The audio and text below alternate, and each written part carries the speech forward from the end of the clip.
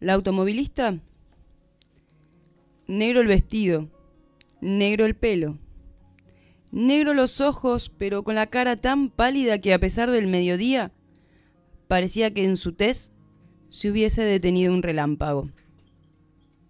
La automovilista vio en el camino a una muchacha que hacía señas para que parara. Paró. ¿Me llevas? Hasta el pueblo nomás, dijo la muchacha. Sube, respondió el automovilista. Y el auto arrancó a toda velocidad por el camino que bordeaba la montaña.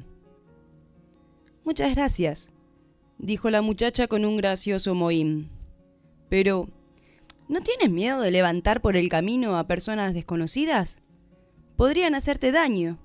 ¿Esto está tan desierto? No, no tengo miedo, respondió el automovilista. ¿Y si levantaras a alguien que te atraca? No, no tengo miedo. ¿Y si te matan? No, no tengo miedo. ¿No? Permíteme presentarme, dijo entonces la muchacha que tenía los ojos grandes, límpidos, imaginativos, y enseguida, conteniendo la risa, fingió una voz cavernosa. Soy la muerte, la muerte. La automovilista sonrió misteriosamente. En la próxima curva, el auto se desbarrancó. La muchacha quedó muerta entre las piedras.